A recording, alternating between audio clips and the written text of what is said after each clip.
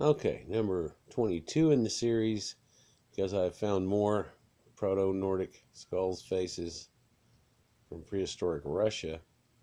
These are the people whose haplogroup leads into Europe and into the Nordic race.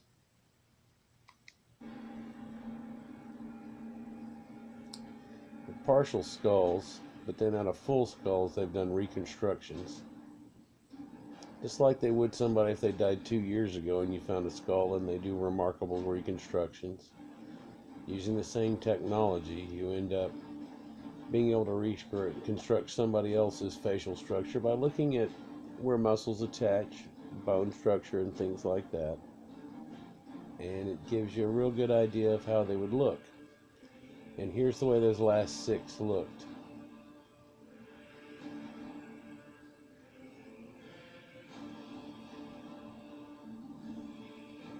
Soon they're supposed to dedicate a few of their teeth to see if they can't get the good DNA like they've pulled out of mummies and see if they can get a better idea about them.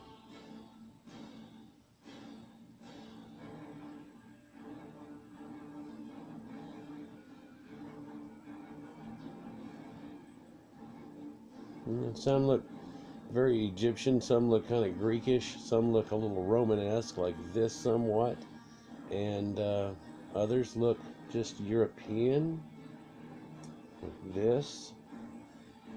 In fact, that's very Nordic. Again, that too. Very much so. I don't know. I mean, there's an American actor named Sean Penn who probably looked just about like this in one of his movies when he was back in his mid 20s. But uh, it, it has a remarkable look to it. And these are all castings and resets off of Nordic skulls that they found.